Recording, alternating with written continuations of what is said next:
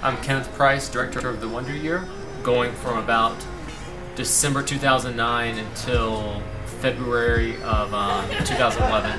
And so it follows him to his home in Winston-Salem, working with you know his artists in the studio, uh, touring around, life in North Carolina, his family life, uh, and you know, and then also has a lot of kind of musician cameos of like Drake and Buckshot and Phonte and uh, J. Cole and you know, a whole list of the Sean Money XL. And so those guys are just kind of talking about you know what Ninth and his music has meant to him. And I just kind of made the film uh, because I've just been a Little Brother fan, Ninth Wonder fan, fan of that whole movement, uh, being from North Carolina. And I just wanted to share that, I guess, in, in some way. I just always liked Ninth's music.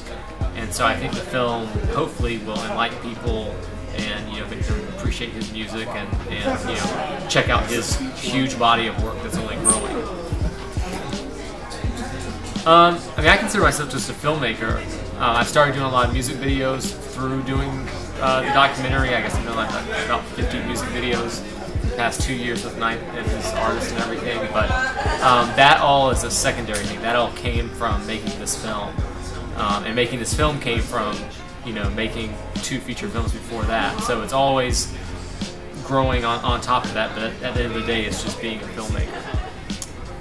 Um, I want people, you know, to find inspiration in the film and, and see it as Ninth doesn't come from a musical family or his dad's not a famous music producer or you know he didn't grow up in that environment. He grew up in you know a pretty small town, a pretty rural town, and just loved hip hop and hip hop culture. And so, you know what he's what he's done is is all self-made, and he hasn't overthought it and uh, you know I think that's that should be inspirational for anyone, whether you're a hip hop artist or hip hop producer or, or whatever you do. That it doesn't you don't have to take the, the usual path. You know, he didn't buy an MPC and you know move to New York and start just banging out beats. He bought a, he got a Hewlett Packard laptop and Fruity Loops and got a Grammy a couple years later. So I think it should be a kind of an inspirational example. So I went to school, undergraduate school in Wilmington, North Carolina, and worked in the film industry down there. Worked on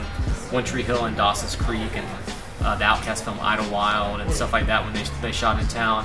And then kind of got burned out of the film industry, went back to grad school, um, and this was my graduate thesis film.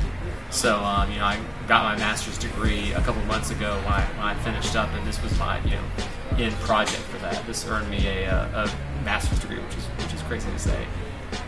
The future, like I'm I'm still in North Carolina. I'm still working with Ninth and all of his artists. Doing a lot of work with Rapsody, um, Big Remo, Actual Proof, Hollow, you know, all the Jamla Records artists, and then you know, hopefully gonna be keep working on projects with LRG. Um, my day job is I'm a associate producer on Ghost Recon Future Soldiers. I'm a big video game guy, so that's my kind of nine to five. So you can check for Ghost Recon Future Soldier coming out in March if you're a if you're a gamer. But yeah, you know, just more music videos and and um, and hopefully more documentaries.